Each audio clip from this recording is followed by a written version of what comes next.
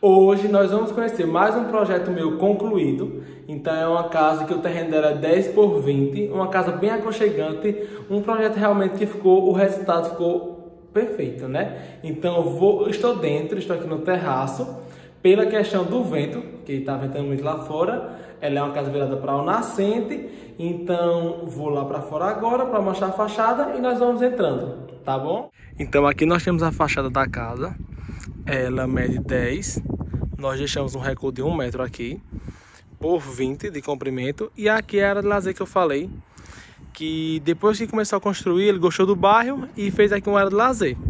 Então nós temos dois jardins, isso aqui está quase morrendo, mas eles vão replantar. E é uma fachada com telhado, né? A gente fez tipo uma plata-banda, porém de duas águas. E vamos entrar. Aqui é uma garagem que hoje está sendo utilizado como terraço, né? Porque o terreno vizinho é do cliente, então assim ele pode colocar os carros lá.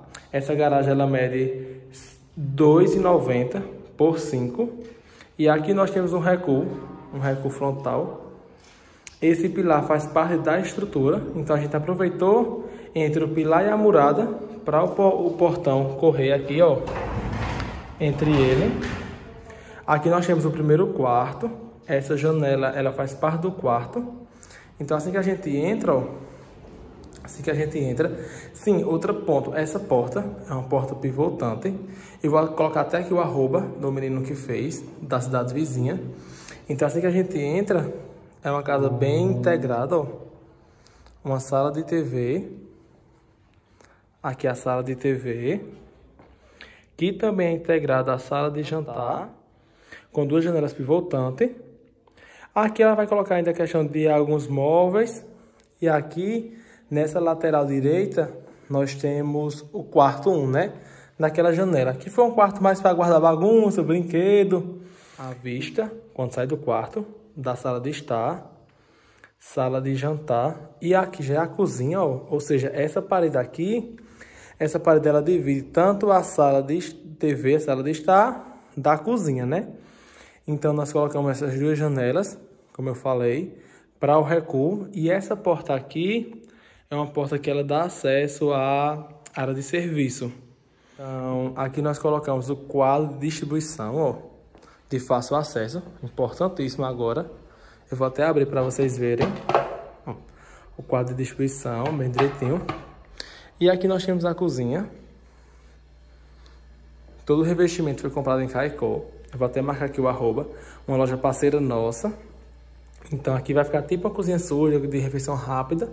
E aqui é o acesso que dá aos quartos, né? Tanto a suíte, esse quarto aqui é a suíte Marcha, aqui é a suíte do filho 1 e aqui é o banheiro social.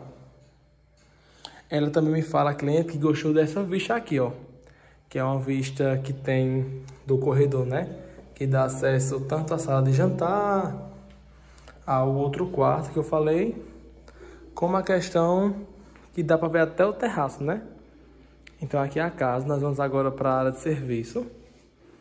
E essa área de serviço, ó, uma serviço bem ventilada, que dá de acesso tanto ao recuo da direita, que dá para estender roupa e tudo, como o outro recuo. Esse recuo aqui é o acesso da, dos familiares à área de lazer. Vou só filmar aqui de longe, bem ligeiro, ó. Ali seria a área de lazer. Então, quando a gente volta, só, só para recapitular, esse esse acesso aqui, ó, só voltando para recapitular, esse acesso aqui, esse da área de serviço, ele dá acesso à área de lazer deles, como também pode ser por fora, entendeu? Então, quando a gente volta aqui, ó, a gente vai voltando para a fachada da casa, a gente consegue ver a questão desse acesso aqui, ó. O acesso pela parte de fora para de lazer. Então o cliente preferiu que não filmasse porque está com os carros dentro e a gente super entende. Então é isso. Voltando aqui para a fachada, ó. Então é isso, pessoal. Vou encerrando por aqui.